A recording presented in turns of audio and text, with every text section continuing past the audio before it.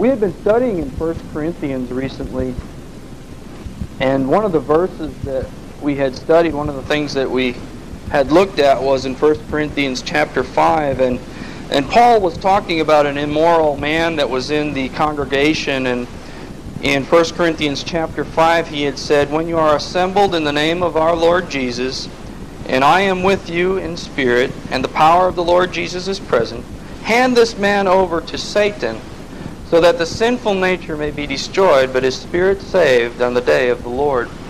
And I was thinking about that, and we talked about it in the uh, Wednesday night uh, study, but the idea of being handed over to Satan, and I realized that in one way or another, that's what God did with us when mankind sinned in the Garden of Eden. And he basically said, well, if you want to follow Satan, if you want to follow that old serpent, the devil, and, and you want to go that route, then now we know Satan as the God of this world. We know him as the uh, prince of the air. We know him as, as the one that has that rule. And and Satan was able to come in during the fall and he had uh, powers that he basically had, powers that he took in a way, and that was in death, hell, and the grave. And we know that he comes to kill, steal, and to destroy, that those are the things that he likes to do, and that, that power was there of death, hell, and the grave, and there was that fear that came on mankind, that fear of dying, that fear of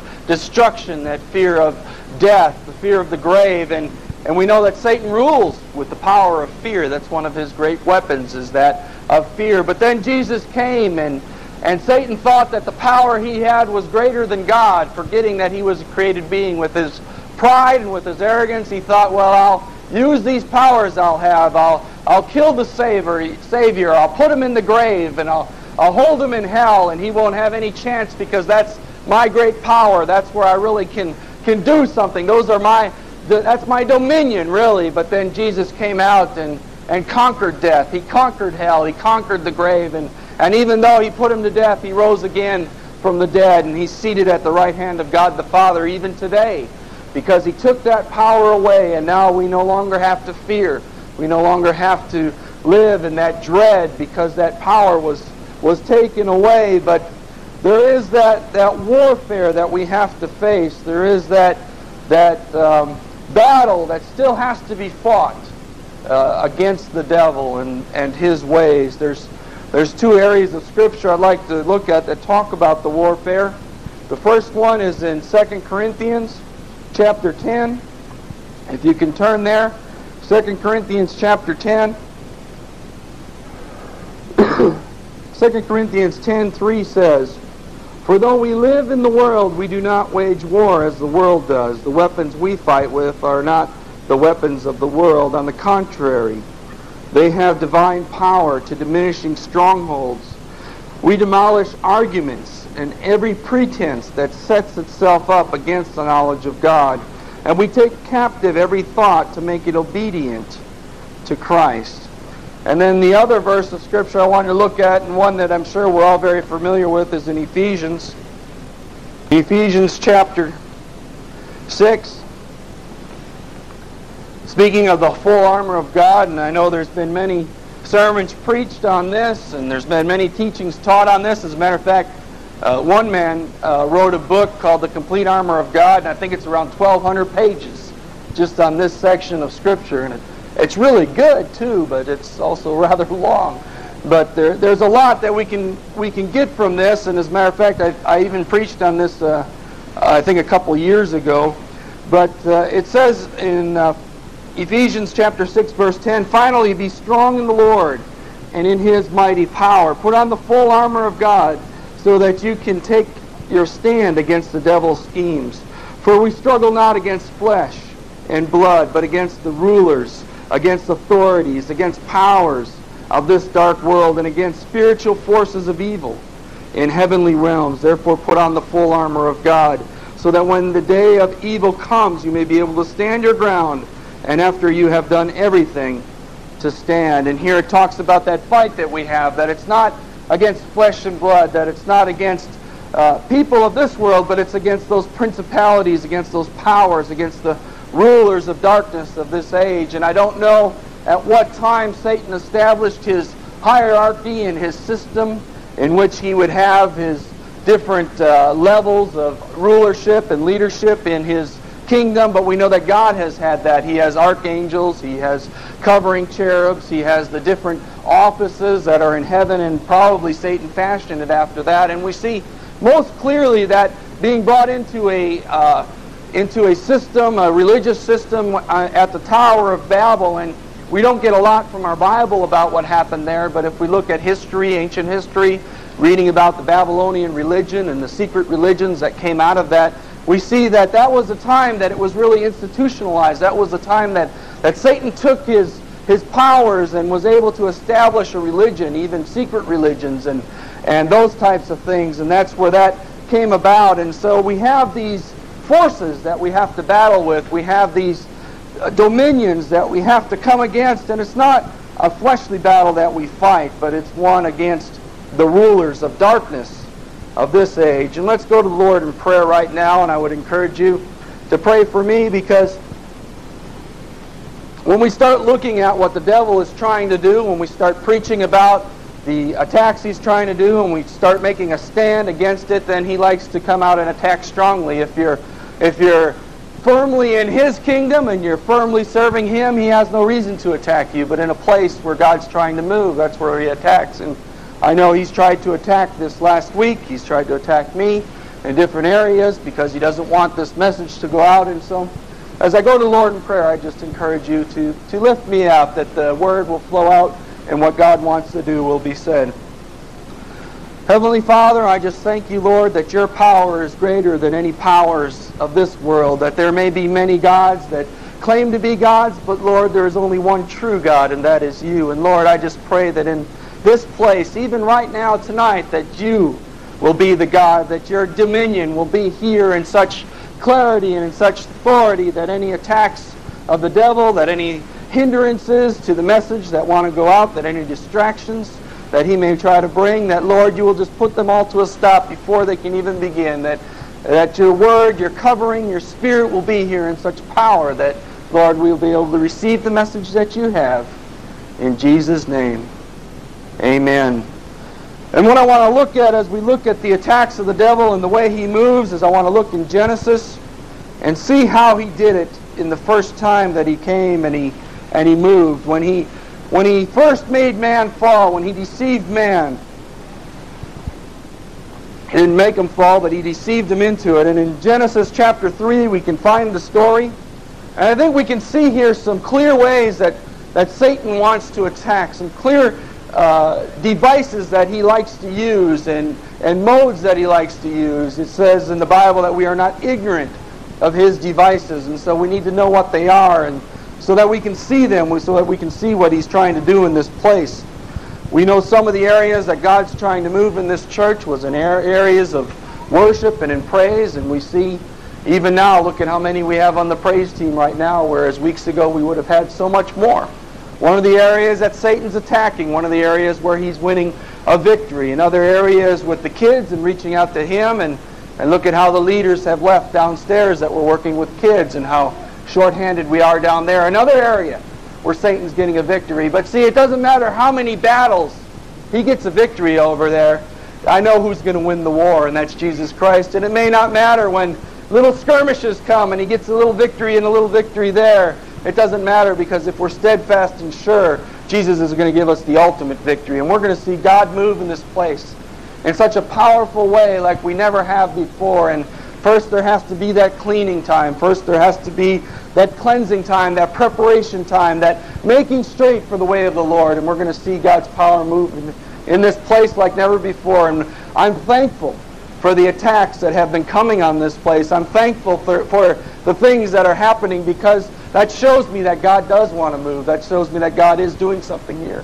Because if he was not, then Satan wouldn't be attacking. Satan wouldn't be coming in and trying to destroy all these things that God wants to do. And because of those attacks even, it's an opportunity for us to rejoice. And so as we look in Genesis chapter 3, we see in verse 1, Now the serpent was more crafty than any of the wild animals the Lord had made.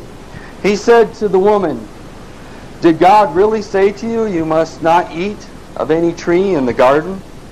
And the first thing I want to see here is that he went to the woman first.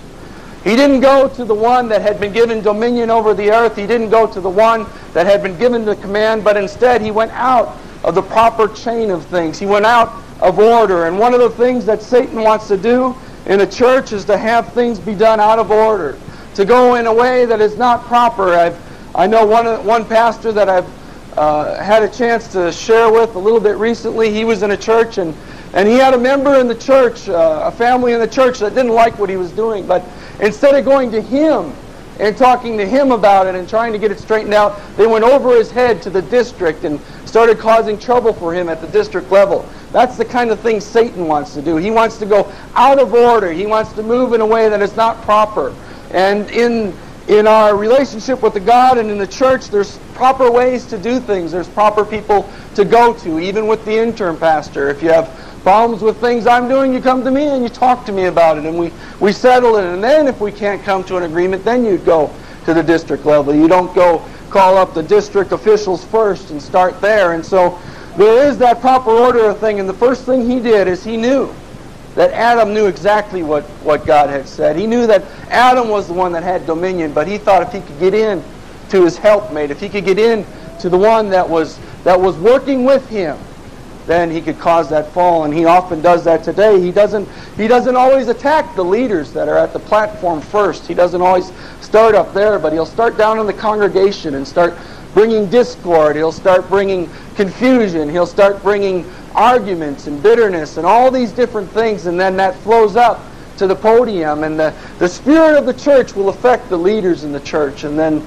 then they'll see them to start to fall. And that's what happened here because he was able to deceive woman, then man and likewise just followed right after her and did the same thing. And then we see that he says to her, Did God really say, You must not eat from any tree in the garden? Another one of his tactics right here is he likes to twist the Word of God. He likes to change what God is saying. He likes to make it sound like God means one thing when he means another. And he'll come in and he'll try to twist the Word of God, and he'll, he'll twist it in ways that sound good. You can sit down with some of the different cults, and I know the Jehovah Witnesses are real good like this. They're able to put together real good arguments by taking Scripture out of context. And if they can follow their flow of the way they want to go, it sounds right because they're able to pull the Scripture out of context and put this argument together. And that's why they're able to deceive people and bring them in. And they twist the Word of God by taking it out. And one of the reasons, the verse that we read earlier about casting down imaginations in 1 Corinthians, or I mean in 2 Corinthians, the one that said the weapons that we fight with are not weapons of this world. On the contrary, they have divine power. Demolishing strongholds, we diminish arguments and every pretense that sets itself up against the knowledge of God, and we take captive every thought and make it obedient to Christ. You see, one of the areas that Satan wants to attack us in, one of the areas that he wants to get victory in our lives is in our thought life, in, in our attitudes, in that area where we don't understand what the Scripture says or we change what the Scripture says and we need to live our life wholly to the Scripture. You know, some of the things like uh, be faithful in the small things and God will bless you in the big things like we talked about this morning. There are people, they want to they wanna be leaders on the high up level. They want to be way up here, but they've never come and they've never submitted themselves and been down on the lower level. I know I saw that even in even in uh, school when I went there. There's people they they immediately when they get out of school they want to go and they want to pastor a big church and they want to you know have a big salary and they want to see these great things happen. And when I tell them, well, what are you going to do? And I say, well, I'm going to go to a local church. I'm going to submit myself to a pastor. I want to sit under his leadership. I want to learn from him for a few years before I go out.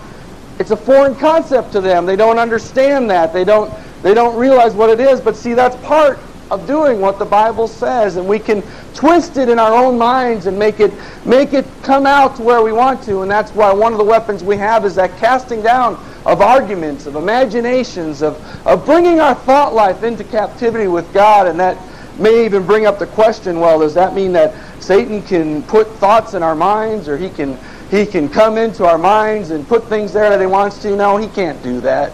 He's, if he could, he wouldn't have talked to Eve. He would have just planted that in her mind. He would have said, there, put it in her mind. But I don't believe that Satan can come and put stuff in our minds, but he does in our spirit try to lead us certain ways, and he tries to, to bring things in, and he can even do that in relationships with individuals, and we'll, we'll see that in just a moment. But, but he'll try, try to get us to just not quite follow Scripture the way it's really written, not quite do what we are supposed to do, and even, even into some of the things that God's been doing in this place, and talking about how we should visit the shut-ins, how we have that work to do, he'll say, well, yeah, that's what the scripture says, but that means that so and so needs to go there, not you. That means that such and such needs to do this, not you. And, and just kind of that little bit of twist. It doesn't have to be much.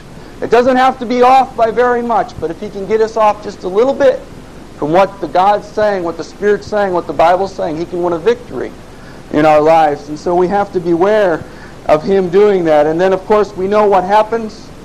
The woman uh, sees in her heart that the um, food is good to eat, that it's pleasing to the eye, those lusts, those things that, that we talk about, the lust of the eye, the lust of the flesh, the pride of life, lead her to, to partake of the tree. The man eats with her. And then God comes and he starts to ask what's happening. And he says in verse 10, uh, Adam answers him, he said, I heard you in the garden and I was afraid because I was naked, so I hid. And he said, Who told you you were naked?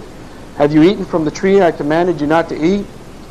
And man said, The woman you put here with me, she gave me some fruit from the tree, and I ate. And you know, in this time that he's hiding from God, and then immediately after this, when he finds out what the serpent did, you see God cursing the serpent, and you, you see the different things that he says to woman and he says to man. And it seems like the serpent's still kind of hanging out close by with Adam and Eve. He still seems to be in the same general facility, and I don't believe that some of the things that happened here, such as man trying to hide from God, that may have even been Satan there, trying to tell him, okay, now you need to hide from God. One of the things that Satan wants to do is he wants to get us away from our relationship with God, and he has many ways that he can do that. We talked about that uh, last week, I think it was, where we said that sometimes people will jump around to the church where the hottest thing's going, where the fastest thing's going, because that's one of the ways that Satan can keep you from your relationship with God. One of the things that we have to be able to do, one of the reasons that some people do like a small church and other people's don't, is because of that accountability you have in a small church. People know when you're not there. People see when you're when you're dragging your feet and you're not worshiping God like you used to, and they're able to reach out to you. And if Satan can get you in a big church where you just kind of blend in, and I'm not saying there's anything wrong with big churches, but this is one of the things he can do. Get you in this big church where you blend in and you don't do anything and people don't notice when you're not there. That's one of the devices that he uses, trying to, to get you away from God, to kind of hide from God and, and just be, be kind of in the forest, so to speak, hiding back there. And that's one of the things that he will do. And then we see what Adam's response was. He says, The woman you put here with me, she gave me some fruit of the tree and I ate it. And one of the things that Satan wants to do is he wants to hurt relationships between each other. And he'll do that in this place. It may start with a small comment, and then you think, oh, why did so and so say that? They must not like me anymore. They must be mad at me. And then all of a sudden, another thing and another thing. And, and it starts to add up. And all of a sudden, in our mind, that imagination again, that thought life again, all of a sudden, it gets to a point where we think, oh, this person just, just is just terrible. They're not even a Christian. What's the matter with them? And, and the other person's thinking the same thing about us, whereas if we would just talk, if we would keep that close communication with, with, with each other, if we keep that closeness, we wouldn't give that opportunity for Satan to attack. And I think we've all seen that in our lives where he's attacked in these areas of relationships with each other. It could even happen with a husband and wife where, you know, she's thinking, uh, well, that dirty so-and-so, why doesn't he, you know? And he's thinking, well, that nasty little girl, why doesn't she? And yet, if they got together and talked about it, they would find out that they were in agreement in this area. And so often, Satan will try to do that in the church. And the thing we have to do is be ready and watching for that. And immediately, when something starts to come up and that friction starts to come up and that separation between individuals in the church start to come up, take care of it and deal with it instantly and take care of it and not give him that opportunity to come in and cause that division. And here we see that, that man had had that happen to him and that, that he had get, gotten that division. And uh, I'd hate to have been uh, in that cave or wherever they were that day when she said, the woman you gave. Well, what are you talking about? The woman you gave me? Well, blaming it on me. You didn't have to eat it. You know. Uh, I'm sure that that didn't cause for um, fruitful conversation afterwards. The way that he did that, uh, accusing her and talking about her in such a way like, "Boy, what'd you give me her?" And of course, it didn't help his relationship with God, accusing her. And oftentimes, that's another way that Satan will work in a church. He'll try to get us to say, "Well, it's all them, God. I don't." Why should I forgive them? Why should I go to them? They're the ones that are wrong. They're the, they're the ones that did it. They're the ones that aren't listening to you. They're the ones that are doing wrong. And, and we can constantly have that too is another way that Satan can come in. Another way that Satan can get that foothold where we always have this attitude that it's always somebody else that's wrong and it's not ourselves. And instead of saying, well, it doesn't matter who's wrong. We need to take care of this. We need to deal with this. We need to not let Satan get this stronghold and be the one to step forward and to, to make that, that uh, move to, to try to deal with what he is doing. And that's why some of the weapons that we have are not carnal. Some of the weapons that we have, all of the weapons that we have, are mighty through God to the pulling down of these strongholds. They're, they're weapons that we have to understand we're not wrestling against flesh and blood. And when these things start to happen and these frictions start to happen, we're not fighting against brother so and so or sister so and so. We're fighting with principalities and powers that are trying to come in and destroy the work that God's doing. They're trying to come in and destroy the church. And in this place, we've seen the attacks very strong lately. And, and I believe it's because God is planning to move in this place in a powerful way and even is moving at this time. And, and that's why we've seen these attacks. And that's why we have to be ready with the weapons that we have. That's why we have to understand that we are not fighting against flesh and blood. We're not fighting each other. We're all children of God if we know Jesus Christ, and we all have that same goal.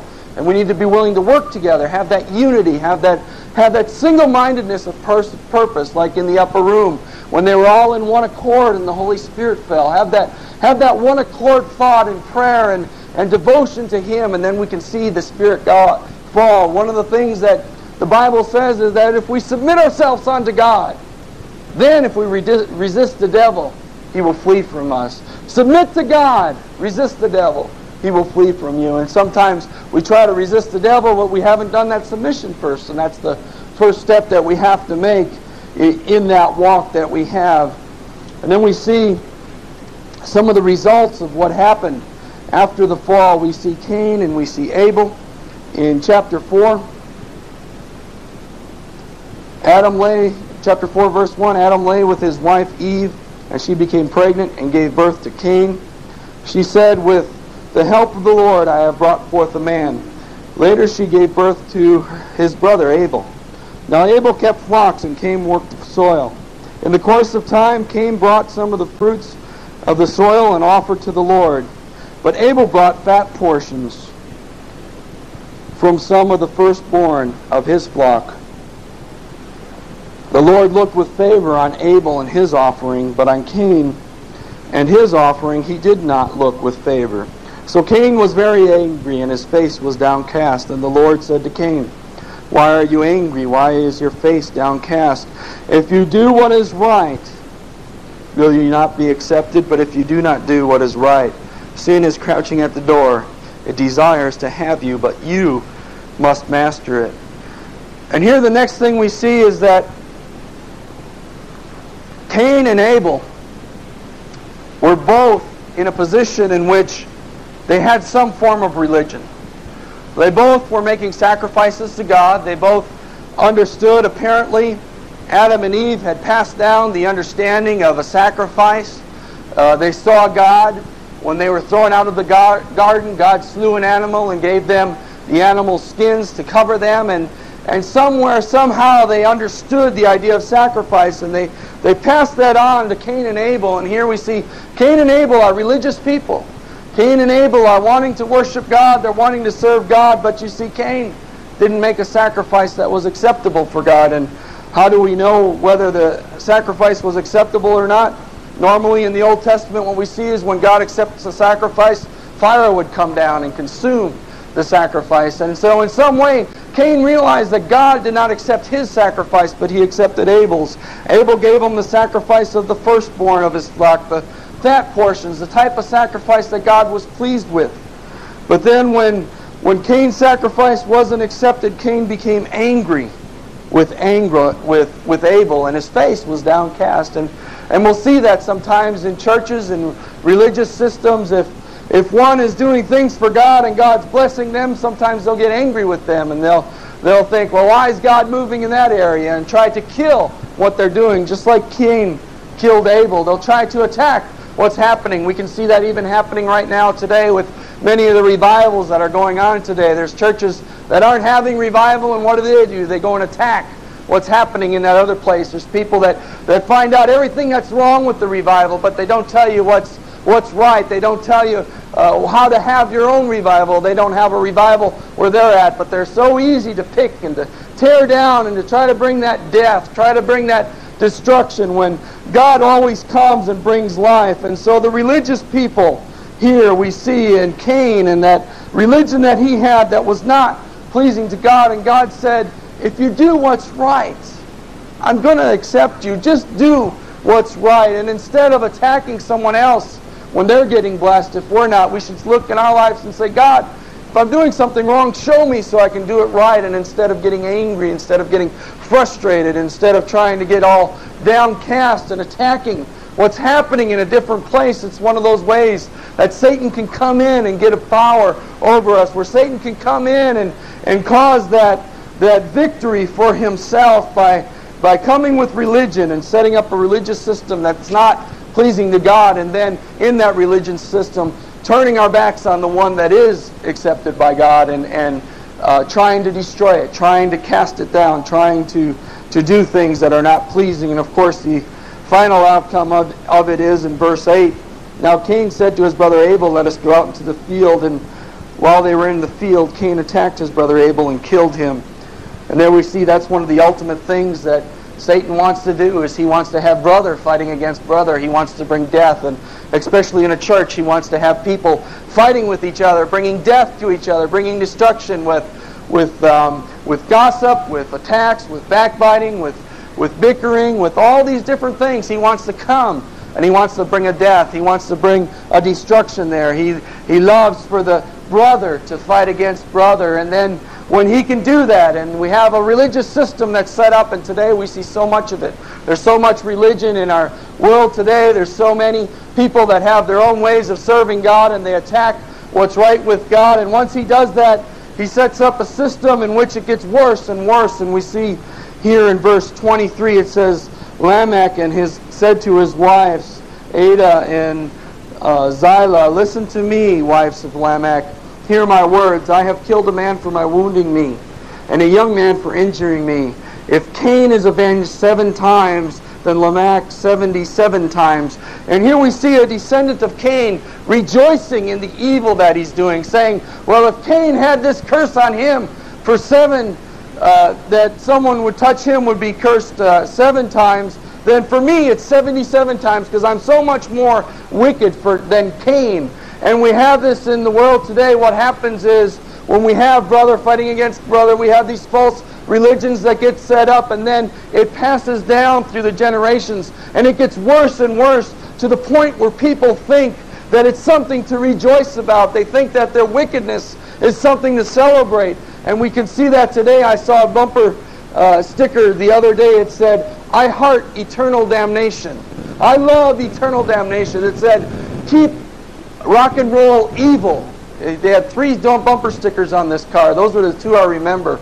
And, uh, and they start to rejoice in this. They start to think, they say things like, boy, I don't want to go to heaven because all my friends are going to be in hell and I want to go down there and I want to party with them in hell. I mean, at least we'll all be together and we'll all have a good time. And they, it comes to a point, and that's one of the ways that Satan's attacks those that are outside of the church, is he gets them to a point where they rejoice in their sin, where they rejoice in their separation from God, and He gets them to a point where they think that this is great, this is wonderful, this is where they want to be.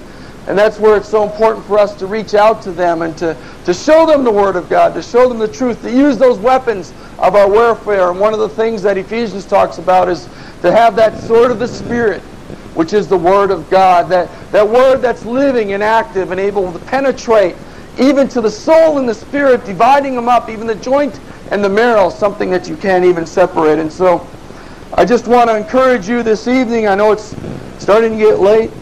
I want to encourage you to be ready for the attacks of the devil as he comes here. He's attacked in this place so much. We, we have now our Royal Ranger le- leader resigned this morning. We don't have anybody to teach the kids downstairs. It's almost to the point where we'd have to tell them, don't even come anymore, kids, because we don't have anything for you. But that's what Satan wants to do. That's the victory he wants to have. And instead, we'll do some restructuring down there, and we'll have it kind of like a, uh, a Sunday uh, service that we would have for the kids, like a Sunday um, uh, worship service, like a children's church type of thing. We'll do it that way. We won't be able to have the Royal Ranger Missionettes as, as such, but we can still do something for the kids and bringing them in because, see, Satan doesn't want those kids to learn about Jesus. Satan doesn't want those kids to grow up serving him. He, he wants them to stay in his kingdom.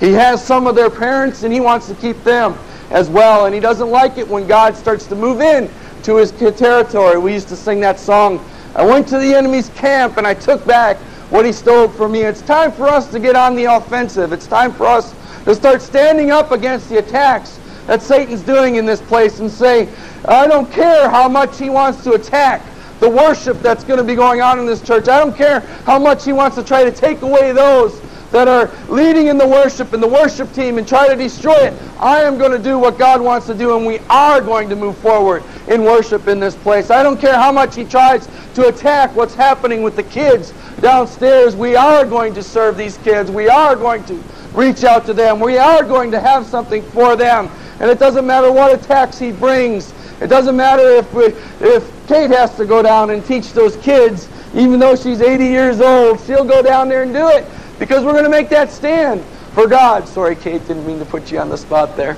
But we need to make that commitment. I knew you'd be generous and gracious if I did that, though. Um, we need to make that commitment to say no matter where he attacks, we're going to stand up. And the more he attacks, the more we're going to pray. And the, the more he attacks, the more we're going to commit to God and, and see him move. And we know that God is going to pour out his spirit in a mighty way. We know that God wants to do something here. And, and so I'd encourage you in the fact that God that Satan has attacked in so many areas here recently, I would encourage you to know that God is planning on using this place to reach out into this community, especially with the children, to reach out to them and to bring them in and see many of them coming to the Lord and, and turning their lives and seeing that reach out to their parents and, and seeing them come in. And we're going to see people from this community coming into this church because that's what God wants to do. And I believe that that's why Satan has been attacking because he has a stronghold in this community. He has a, he has a dominion in this community and he doesn't want us to move in on what he has. And so I encourage you to, to be steadfast in prayer, to be committed to prayer, to to, to take that time, extra time, and commit it to the Lord and just make that commitment to Him that, Lord, in whatever way I can help, God, let me help. Whatever way I can, whatever abilities I have, like we talked about this morning, even if it's in some small ways, Lord, just show me where I can be used. And Lord, I will do it, and I believe we will see a great victory in this place as we stand up against the devil, as we stand up against his attacks, and we say, No, no more, devil. We're not going to let it happen. We're going to march into the enemy camps. We're going to march into this community. We're going to march into this area that you have a stronghold. And because of these attacks you've had on us, we're just going to, that's just getting us angry. And we're just going to go out there and we're going to take even more kids for Christ. We're going to, we're going to bring more of them into the church instead of less. We're going to, we're going to have a more powerful worship service instead of less because remember that Satan was was created with the pipes in him. Music is one of his greatest areas. That's why rock and roll is so demonic and so so oppressive, and we see so much death and destruction that comes from it, because that's where Satan has his has his greatest uh, area, his greatest abilities is in that of worship and that of music, and that's why he hates it when a church starts to move forward in that area. And as we stood up and made a commitment to that, he's attacked in that area. He's won some victories. He's won some small battles. But we're going to make that commitment even here tonight that God's going to win the war, that we're not giving up on what God wants to do in that area, that we're moving forward. And even though it may look small now, even though it may not look like much now, God's going to do a great thing. And this place is going to be a firehouse for Him as we stand up and be obedient to the Word of God. Let's go to the Lord in prayer. Heavenly Father, I thank you, Lord, for your love, for the work that you're doing in this place. I thank you, Lord, for how much you have done even already in all the areas that you are moving in. And I just pray, Lord, that we will be open, that, Lord, our eyes will see spiritually what you are doing in this place, that we will hear, Lord, from your spirit what we are doing, that what you are doing in this place, that, Lord, we will not get distracted by things that do not look like they're going the way they should, or, or by things that, that look like uh, the devil's winning in some areas. But, Lord, instead, we will make a commitment to you that we will be uh, spend that time in prayer and even in fasting, Lord. If you lead us into that area, that, Lord, we will make a commitment that we will see what you are doing, that we will praise you and worship you for the things that you are doing. And, Lord, we know that you are getting ready to pour out your Spirit here in a way like it's never been done before. Help us, Lord, to be prepared as you come in power and in strength. Help us, Lord, to be in place, Lord, to have the things moving in the direction that you want them to be moving so that, Lord, as you come down and your glory fills the temple once again, that we will be ready for what you want to do, that we will have a strong place for you. In Jesus' name, amen. Marissa, if you'd come to the piano and play. And I just want to encourage you now, if you want to spend some time in prayer at the altars, that the altars will be opened up for you. And and pray about it and see if, if God may even have you to fast and pray these these coming weeks sometime. Maybe maybe it's not uh, all week, maybe it's not all day, but maybe for some meals or maybe one day at a time or or however he may lead you. But I would encourage you to pray in that area. Uh, I wasn't planning on saying anything about fasting, but uh, it seemed as I was praying to the Lord that, that he just kind of laid that on my heart that, that he may want some of us to do that in some areas. And so I'd encourage you to just be sensitive if the Spirit's leading you in that way to, to just let him do that. I want to encourage you to come to the altar. Uh, if you want to spend some time in prayer as Marissa plays on the piano, to just, to just say, God, how can I fight the good fight? How can I be in this battle, Lord? How do you want to use me? Uh, when we go to war, all the soldiers have different things that they do. They have foot soldiers, they have cavalry, they have tanks, they have uh, airplane pilots, they have all these different things. Uh, those that are out on the ships, so many different ways that, that soldiers can be used in an army. And in the same way, the army of God that we are in, we all have different areas that we can work, different areas where God may call us to strengthen. We may be a prayer warrior. We may be one that's just full of the Word and burns bright with the Word to go out into the community or to share with the kids. There's so many ways that we can be used. And so I just encourage you to spend some time in prayer and see where God wants to use you. It may not even be in the same way you've been used in the past. And you may, you may even be sitting there thinking, well, God really doesn't have anything special He wants me to do. Remember the sermon this morning. Everything we do for Him is special. And He may want you to do some things that you didn't realize He wanted you to do. And if you just pray, spend that time asking Him, I believe He will reveal that to you, what He wants to do in this place. And so let us go to the altars now in prayer. And if you feel released by the Spirit, then uh, you are free to go.